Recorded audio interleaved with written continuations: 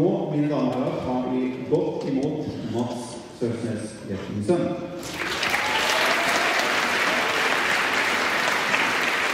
Nå blir det jul.